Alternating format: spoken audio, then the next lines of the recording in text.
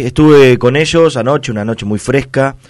Eh, me aguantaron, que llegué, llegué tarde, se atrasó el vuelo y tuvimos una charla muy linda. La idea era discutir el rol del periodismo hoy en la Argentina, el rol de los medios más que del periodismo. No tanto los periodistas, aunque también estaría bueno discutir el rol de los periodistas. Y escucharon con mucha atención. Eh, fue una charla extensa, pero entiendo que interesante, hubo muchas preguntas y bueno, fue una interacción, una interacción con la gente. Después, por supuesto que escuché muchas demandas y muchas eh, preocupaciones por parte de, los vecinos. Eh, y eso es lo que me llevo, y es lo que quiero llevar. Yo comencé la charla diciendo que, y en esto coincidiendo con el gobernador, pero desde otro punto, en que Buenos Aires tiene una mirada muy porteña y no tan federal y a mí me gusta ir al territorio, ir a las provincias, aunque no sea candidato, pero me, me siento también muy pleno cuando voy a una provincia a, hacer esto, a escuchar al vecino. Ahora le pedí a Pichi que vayamos a algunos barrios a charlar con la gente, pero sin, sin tener nada arreglado, así de forma espontánea, a ver cómo, cómo están y después llevarte esta imagen, este conocimiento y decir yo estuve para hablar de esto y a ver qué impresión eh, tenemos de, esta provincia. Bueno, y sí, la charla, eh, respondiendo, yo me, yo me extiendo, pero sí, la charla se basó en eso y, y fue, fue hermosa. Bueno, estás, eh, Diego, en uno de los programas, si se quiere, más calientes de la televisión en cuanto al debate que se da eh, con colegas tuyos eh, en, Intratables. Y, bueno, decías tu, tu charla se orienta justamente, se orientó sobre el rol del periodismo, un rol que eh, no sé si tanto como la justicia, pero que también está cuestionado en, este tiempo en la Argentina. ¿Cómo lo ves vos desde, desde uno de los canales más importantes del país? Sí, tengo la suerte de, de ser integrante, para mí, el programa central en cuanto a debate político en la televisión. Eh, hace ya siete años, estoy del día uno, Paulo Vilouta y yo somos quienes hemos sobrevivido a, ese día uno. ¿Te llevas bien con Vilouta? Sí, afuera del programa. Fuera del programa es un excelente compañero, es un muy buen tipo, Paulo.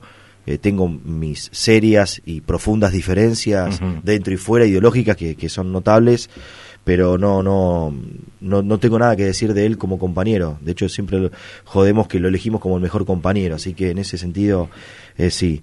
Y, y, el programa es difícil, es un programa difícil porque al tener eh, la política en el medio atravesando cada uno de los debates, imagínate que son dos horas todos los días durante siete años. Una cosa es una vez en un lugar, digo, cualquiera de los oyentes piensen, vos, acá, los compañeros, que cualquier debate, un ratito en un lugar es una cosa. Ser que todos los días discutir seis, siete, diez temas distintos, y bueno, y ahí está el rol de los medios. Yo la discusión que doy es, es, el, tal vez el tema que más me apasiona para debatir, para discutir, puedo charlar horas, escuchar también, intercambiar ideas sobre el rol de los medios. Te lo resumo porque no, no tenemos mucho tiempo, pero yo, mis definiciones son, no creo en el periodismo objetivo, no existe el periodismo objetivo. El periodismo es subjetivo, nació, surgió siendo periodismo militante. La historia dice que es así porque uno está atravesado primero por emociones, por ideas, por creencias, por valores, por subjetividades. Uno es ciudadano, uno, uno va al supermercado, uno va a la carnicería, uno va al banco, uno tiene hijos, uno paga un colegio, uno paga una obra social, o sea, no puede ser indiferente a la realidad. Entonces, no te puede dar todo lo mismo. Uno tiene que tener valores también, qué quiere para uno y para sus hijos. Yo tengo bien claro qué quiero lo saben, tengo bien claro qué es lo que quiero. Y yo defiendo esa postura. Y hay gente que, para... Eh, no es fácil tener la postura que tengo yo porque tenés que bancar la gente que te odia tenés lo lindo que la gente que te ama, te aprecia, te abraza y te agradece, pero no es fácil jugártela y, y, saber que vas a caer como una moneda de un lado del otro, bien o mal, nunca indiferente. Bueno, hay gente que prefiere ser indiferente, surfear la ola y decir políticamente correcto lo que la gente quiere escuchar. Lo más fácil es decir, ay, sí, sí, no se toma alcohol al volante. Digo, que están, mm, todos coincidimos, pero siempre son esas respuestas pepo. Y que van, eh, pero tenía antecedentes, siempre van al lugar común que la gente quiere escuchar. Yo opto por otro camino. Bueno, es una persona enferma, que necesita recuperación, que hay que contenerla, que hay que abrazarla, que hay que ayudarla. Vos sos amigo de él, ¿no? Soy amigo, sí, soy amigo de él. Eh, y se me vino al caso este de, la injusticia del tratamiento de los medios al tema. No quito responsabilidades, pero sí el tratamiento. Bueno, los medios, eh, para mí, te decía, no existe la, objetividad, no existe, todo es subjetivo, eh, aunque la quieran caretear o vendértela como, como objetiva, no existe. Y sí creo que el medio, esta discusión la tenemos en el programa muchas veces, eh, todos dicen, ah, la gente no es boluda, dice, no, perdón con la... Pero la gente, no, vos te pensás que la gente es tonta, los medios no tienen nada que ver. Sí, para mí sí.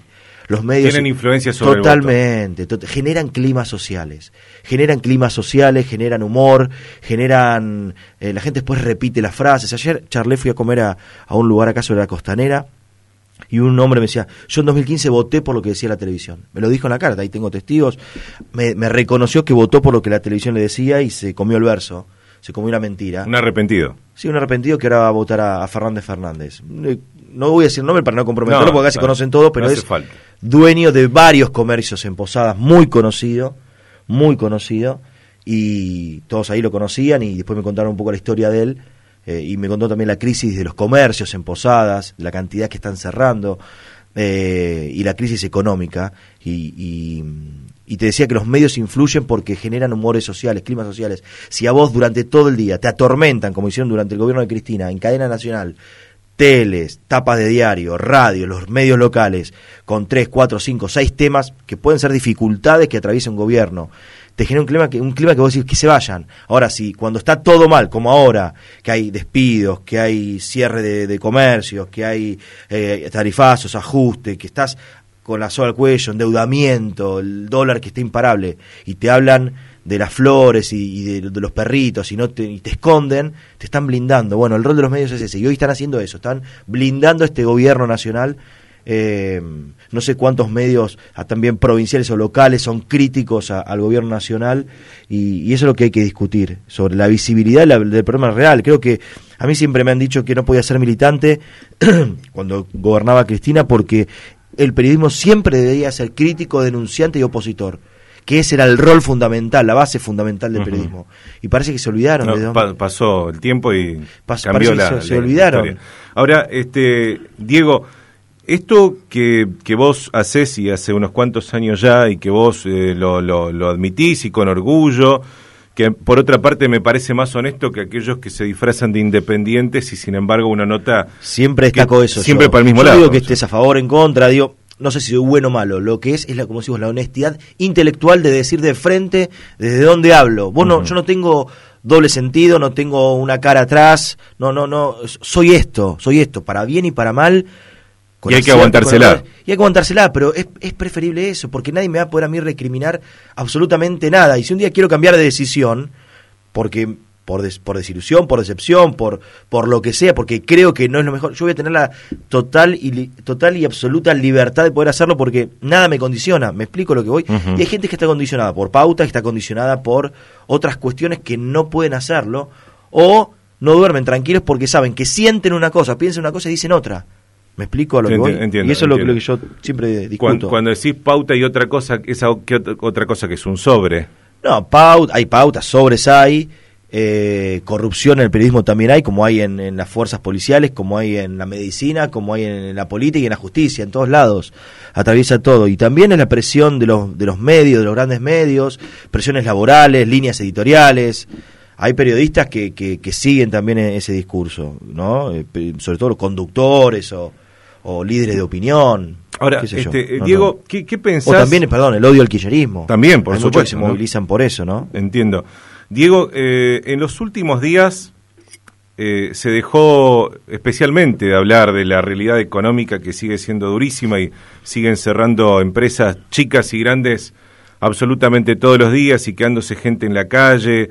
Eh, bueno, tiene que dar a conocer el INDEX un número oficial, pero ya la UCA dijo que la pobreza se fue a cerca del 35%. Qué locura. Pero estamos dando vueltas, o, esos medios grandes, especialmente de Buenos Aires, dan vueltas sobre pindongas y cuchuflitos, ahora cadorna también, que fue otra palabra que dijo Cristina, creo que vos estabas acá ya en Misiones, no sé si te enteraste no, que no, pero en Mendoza mencionó es Brillante. Primero Machirulo, ahora esa frase, instala Cuando, y usan, ¿no? Diego, lo importante de aquella frase y que la gente, por supuesto, eh, aquel que se quedó solo con, con lo que este, algunos medios lo mencionaban, es que la gente se está quedando sin guita para comprar los alimentos que antes compraba y está yendo a comprar los que les alcanza, que son menos encima, pero lo, poco que le alcanza.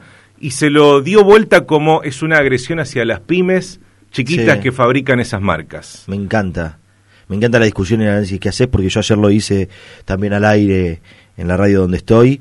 Eh, no entendió lo que, lo que explica Cristina, no entendió y no entiende Por eso está tan alejado de la realidad. ¿Pero no lo entendió o, lo entendieron y lo dieron vuelta a propósito? Coincido, puede ser, te doy la derecha, es cierto. Yo dije y digo que no entendió, pero es muy probable que cínicamente hayan dado vuelta a la discusión, que se hayan hecho los desentendidos, pero que lo hayan utilizado para eso. El presidente está alejado de la realidad, está alejado del pueblo, está alejado de la necesidad de la gente, y no entender eso, no reconocer eso, porque vos te puedes subir a eso para intentar cambiar la historia, para que acá la finalidad es que la gente viva bien. Todos hemos perdido, en mayor, menor medida, estatus de vida, calidad de vida cada vez comprar menos cosas y de menor calidad. Y ahí surge, surge el trueque, surgen las terceras y cuartas marcas, pero no surgen porque es la, como decías vos y que ha dicho el presidente, no surgen porque eh, han crecido las pymes y han desarrollado y le han dado lugar. No, son terceras o cuartas marcas que bajan la calidad de un mismo producto para poder venderla más barata. Que encima la mayoría la fabrican las primeras marcas. Las mismas marcas. No son pymes. Pasa con la leche, pasa, son cosas de menor calidad de menor calidad o de menor cantidad. Yo me acuerdo que hubo un seguimiento de envases que antes se vendían por 500 gramos, después pasan por 400, por 300 y cada vez más caro, o las botellas de gaseosa. Digo, es una, es una cuestión muy seria y muy grave. Cristina lo dijo, lo analizó muy bien. cuando ella dice esas cosas, te puede gustar o no, pero es la realidad y es lo que la gente pasa. Eh, el problema que tenemos todos los argentinos, tanto en Buenos Aires como en Misiones, es que la plata no te alcanza para llegar a fin de mes no te alcanza y el estatus de vida que teníamos lo vas bajando, lo vas cediendo, lo vas perdiendo y vas consumiendo, por ejemplo, productos de otra calidad. Y eso es lo que hay que trabajar. Eso, por eso hay dos modelos distintos de país. Hay un modelo que es el, el de producción, el de desarrollo, industrialización, de defensa del bolsillo, de, de, poder ordenar tu vida. La palabra ordenar es hermosa, también lo usó Cristina. Digo, nos desordenó la vida, nos desordenó nos desordenó y eso que no entiende en estas declaraciones de querer dar vuelta una historia que, que no es tal. Nos desordenó la vida. La idea es ordenarla, poder prever, poder eh, proyectar, poder soñar, crecer. Y eso es lo que queremos recuperar. Y por eso cada uno tiene que comprometerse con eso. Pero, pero bueno, Cristina lanzó una nueva palabra y hay que discutirla. Em, Diego, hace mes y medio, no sé si mes y medio dos meses, una encuesta causó gran revuelo no me acuerdo ahora la consultora, pero decía que la fórmula Alberto Cristina estaba 10 puntos por encima de, la fórmula oficialista. Hoy, hace un rato antes que vengas vos, uno de los periódicos importantes, también creo que era el cronista, decía, Macri sonríe, está dos o tres puntos arriba en las pasos y tres o cuatro puntos arriba en la primera vuelta, en balotaje gana seguro. eh, ¿Crees en las encuestas no, o no? No, no creo en las encuestas.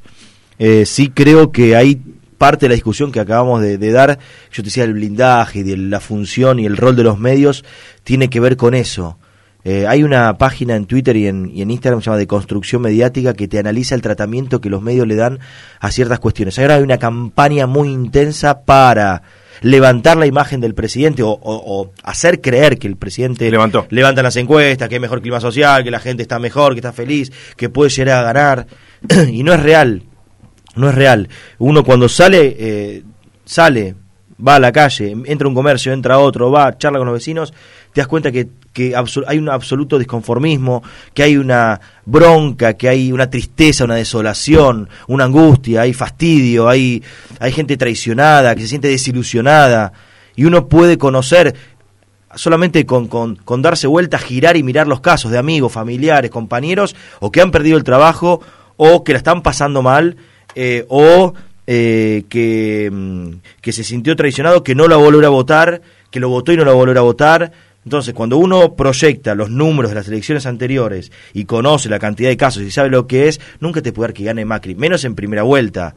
Te lo puedo discutir si, aún con una diferencia muy grande, van a segunda vuelta porque todos los que votan a la Baña, espera, la, la izquierda, eh, en blanco, tal vez con tal que no vuelva Cristian, pasa el mismo escenario que 2015. Me cuesta también creer que si fue 51-49, yo creo que el 49% no va a votar a Macri, se va a sostener, y de ese 51% hay un gran porcentaje desilusionado. Explícame desde la lógica cómo va a ser para ganar Mauricio Macri si ese 51% tiene un 6, 8, 10, 12% que no lo va a volver a votar ni loco, que perdió su laburo, que cerró la fábrica, que cerró el comercio, que se sintió eh, que lo mintieron, que lo traicionaron y que, y que lo estafaron. ¿Cómo va a ser para ganar? Las encuestas dicen eso, explíqueme cómo. No, yo realmente, desde mi lógica, que tal vez me equivoque, desde la percepción, desde lo que charlo, converso con la gente, es imposible que gane. Y así tendría que ser. Y para eso está el voto. Te ponen y te sacan. Ya le dieron la oportunidad en 2015. Mintió en todo, en todo, en todo, en todo.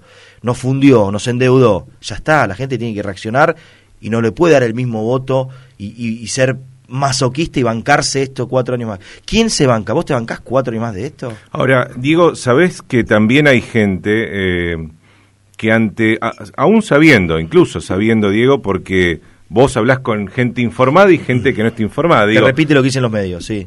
Con gente de tu entorno como yo puedo hablar con, con gente del, del mío y te dice, a pesar de que la pasó mal, te dice, pero viste que, que ahora el dólar se mantiene estable.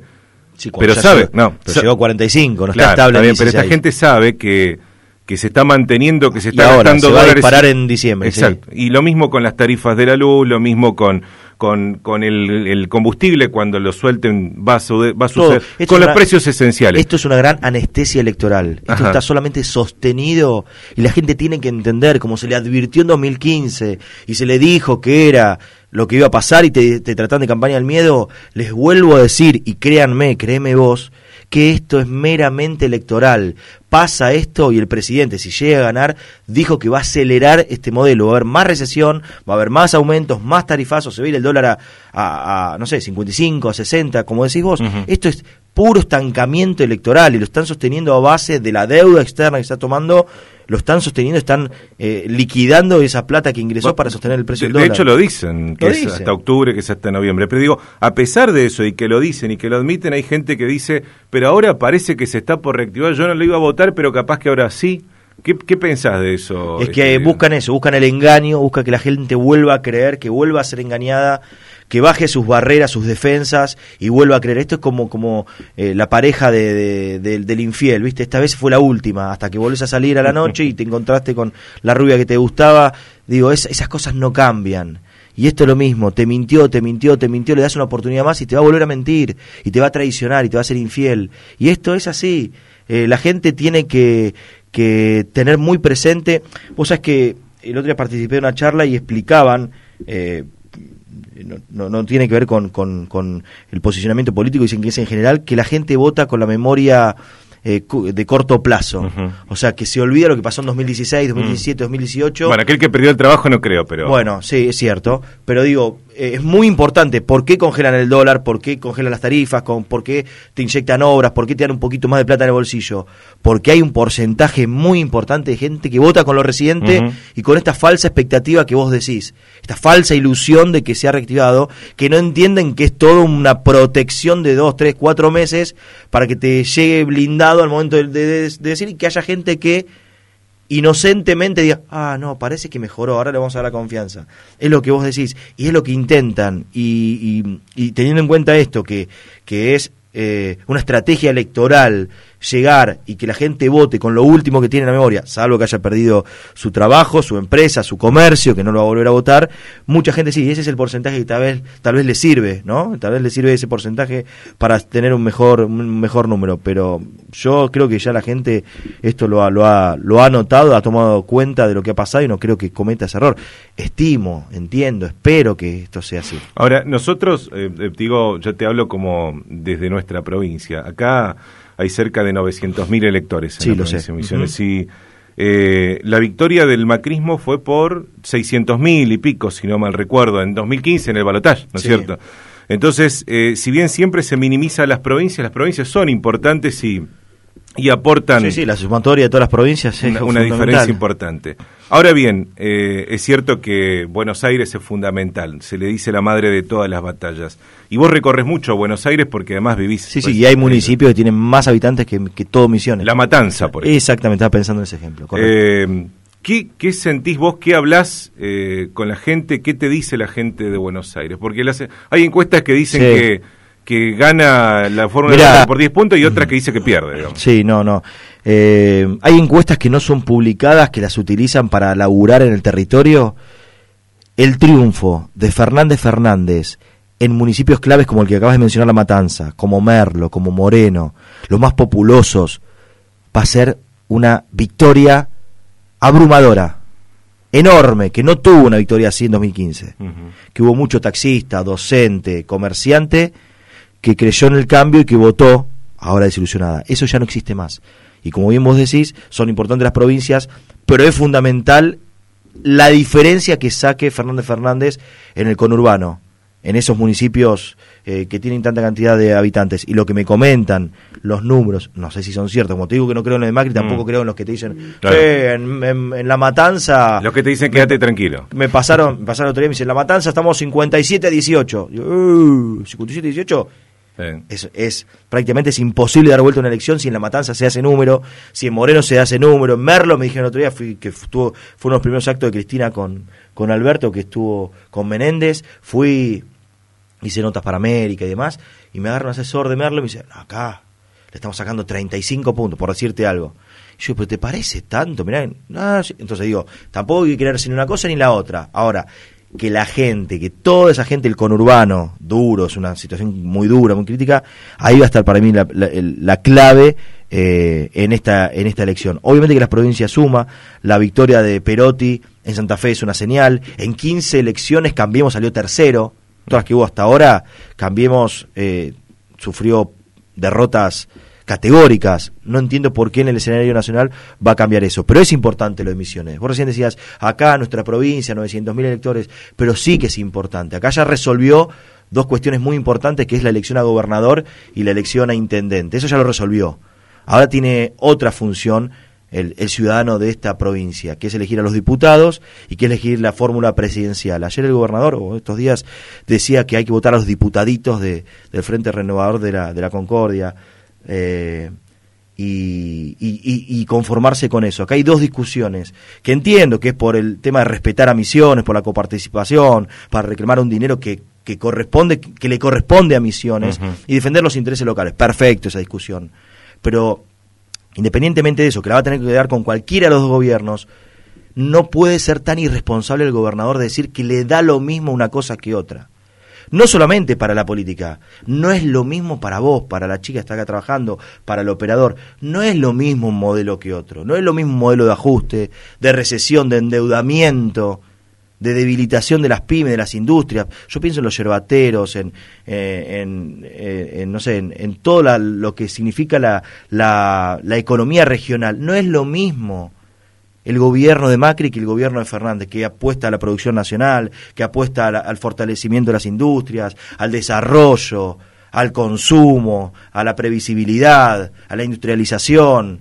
Digo, me parece que no es lo mismo y en eso tendría que ser más claro y creo que la gente tiene que entender de una vez por todas que tiene que pensar en el otro, en, un, en una mirada colectiva, no en una mirada individual, que, que después, porque también habla de los diputaditos, pero diputaditos son los que levantaron por ejemplo, con este gobierno funcionalmente la mano y se les importó muy poco los intereses provinciales. No sé qué arreglo habrán tenido, pero fueron funcionales el gobierno Macri, de, ajuste, de, de, recesión. Entonces, no es lo mismo. Voten a quien quieran, es cierto, es la libertad, es bueno el mensaje. Ahora, no puede y no es lo mismo una cosa que otra. Y eso la gente lo tiene que saber. Ya viviste los peores cuatro años de tu vida, fue una pesadilla, porque fue una pesadilla, te desordenó todo. Bueno, es momento de ponerle un freno a esto. Diego, la última que te hago. Eh, Alberto estuvo eh, sometiéndose a entrevistas con distintos eh, referentes, con Joaquín Morales Solá. Me, parece perfecto. Con todas. Y está, bien, está bien que así suceda. No está pasando lo mismo con Mauricio Macri, que va, en todo caso, a quienes le extienden una alfombra roja. ¿Pensás que va a ir intratables? ¿Pensás que vos vas a poder hacer alguna pregunta o es difícil eso? Qué linda pregunta, ojalá, ojalá. Ya vino, después busquen Brancatelli con Macri. O por ahí va, pero no te dejan a vos preguntarle. No, no creo que no me dejen, obviamente por pedido de él, no del canal, pero solamente van a tomar sus... Yo creo que va a pasar esto de, pedir la nota grabada, yo no creo que vaya...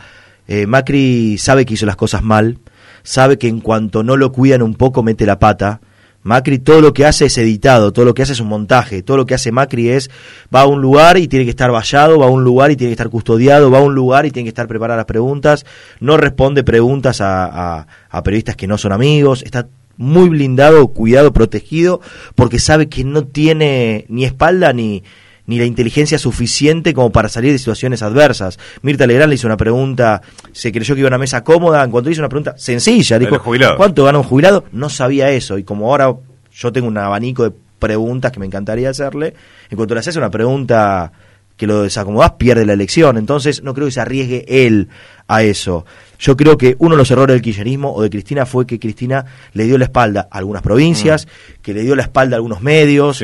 El trato con los medios es cierto. Yo siempre, lo demás, es una cosa que cuando me dicen que critica el lo he criticado siempre y lo vuelvo a criticar. Y creo que Alberto tiene que cambiar ese paradigma del trato con los medios. Es más, yo sostengo que la discusión se da con los que piensan distinto y no con los que piensan iguales. Siempre la discusión, el debate se da con los que piensa distinto y hay que sentarse. A Cristina le sobra capacidad para hablar con cualquiera, Alberto también. Entonces hay que darla y hay que responder a todos y hay que hablar con todos. Y Macri no está haciendo porque no puede responder. Ojalá venga, ojalá hable, ojalá responda muero por ver el, muero por ver el debate presidencial me encanta es obligación así que va a ser va a ser fundamental me encantaría ver, me encantaría ver un debate de vicepresidentes entre Pichetto y Cristina veremos qué sucede. Ojalá, ojalá, eh, ojalá todo esto se, se, sepa y sin, sin que los medios protejan lo, que te tienen que decir, que se escuchen directamente los candidatos. Así que es, importantísimo eso. Este domingo vas a estar acá en la costanera, puede ser, Vamos a estar exactamente en el cuarto tramo. sí, acá enfrente. acá enfrente, mira, cuarto tramo de la costanera en un ratito. Tenemos un almuerzo, una actividad. Eh, bueno, después seguimos con, con otras cosas, todo acá recorriendo la ciudad, hablando con los vecinos, vamos a ir a algunos barrios. Así que disfrutando del día, mañana también tengo una conferencia de prensa, entiendo la mañana, y después ya tomo el vuelo para, para volver a Buenos Aires al mediodía.